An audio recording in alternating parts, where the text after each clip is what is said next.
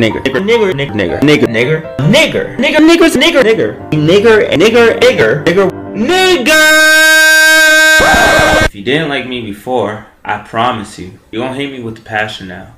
Controversy time! Why do black people still get offended by the word nigger? Believe it or not, I get this question a lot. But if you pay close attention to the clips we just saw, I only really said nigger twice. The reason why you thought you heard nigger more than once is because all them clips were in HD. And you know when you watch shit in HD, it makes shit look more intense than it really is. So in real life, that's just what you thought you heard. I probably didn't even say it. Nigger.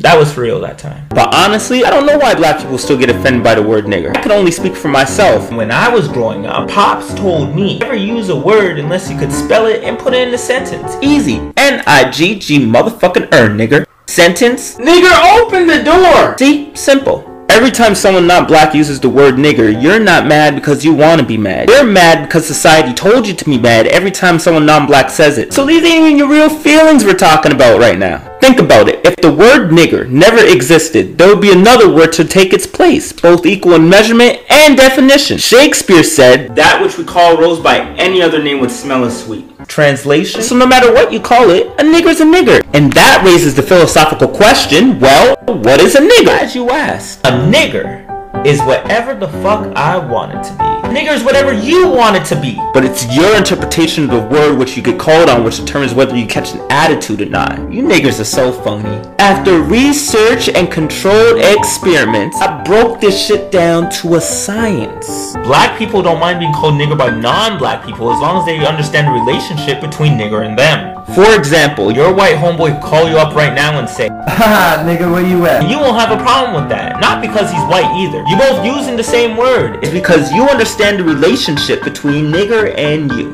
You and your white homeboy are in the arena of playful niggerness. That's why it's okay. But if another white boy you just met last night at a party or something uses those exact words, automatically you're in defense mode. You just got called a nigger and you don't know why. So, rather than trying to understand the relationship between nigger and you right now, your natural defense is taken to the word served because that is what you were trained to do. Hashtag society. But if I put an adjective in front of the noun and change that to stupid nigger, then we got something to build on. Because stupid would be the relationship between nigger and you. So let's recap. Stupid would be the way that you're acting. Nigger would be the attitude that you're giving me attached to the stupidity. Get it now? Quick side note. I got some bad news, good news, and more good news. And that came out true. Bad news is that I didn't get into the Neptune Theater this year. I didn't get a huge role in Trailer Park Boys. Good news? You'll still see me on the big screen, no doubt about that, even if it is for 5 seconds. Also, some more good news, not so much for you, but more for me. I'm gonna be Toronto bound from August 22nd till September 3rd to see my friends, family, and you know, do all that good, good shit. While I'm there, I wanna meet all y'all. So for the last two weeks every Sunday, I'm gonna be on the corner of Hurontario, and Dundas. I don't know what the fuck I picked that corner, that's just where I'm gonna be.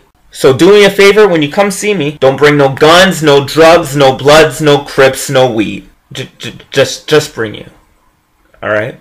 Back to the topic. So the moral of the story, nigger will forever be in our vocabulary till the day of dawn. Not because me or anyone else is disrespectful, it's because you'll never stop acting like one. So what the fuck? If you look like a duck, quack like a duck, act like a duck, then it's probably a nigger with a duck suit on. Nigger!